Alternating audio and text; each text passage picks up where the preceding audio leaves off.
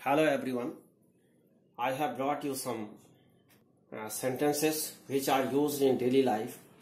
Use of it.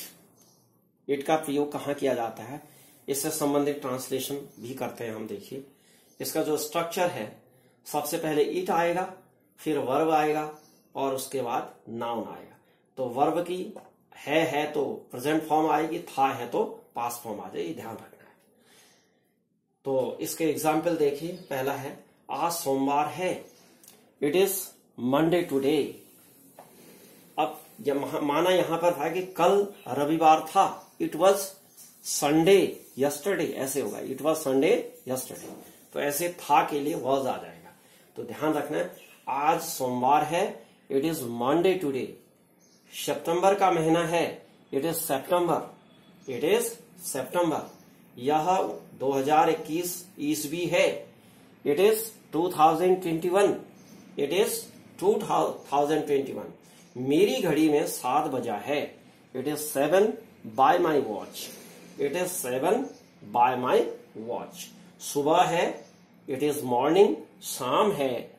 It is evening सुबह है। It is morning शाम है।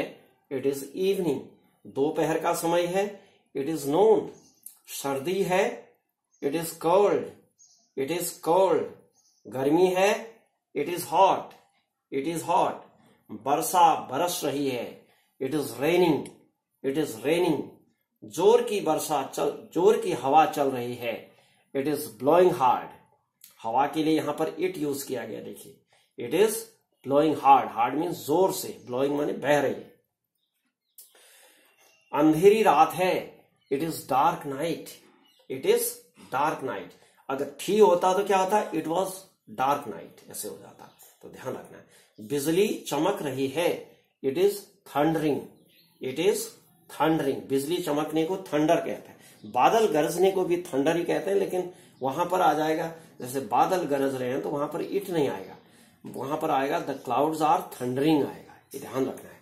तो बिजली चमक रही है के लिए इट यूज़ किया जाता है। इट इज़ थंडरिंग तो ये एलेवन सेंटेंसेस हैं। इस तरह के सेंटेंस आप कई और बना सकते हैं। तो अगर ये आपको अच्छा लगता है तो प्लीज़ इसको लाइक करिए शेयर करिए। और अगर आपने मेरे चैनल को सब्सक्राइब नहीं किया है तो please you are requested to subscribe my channel okay thank you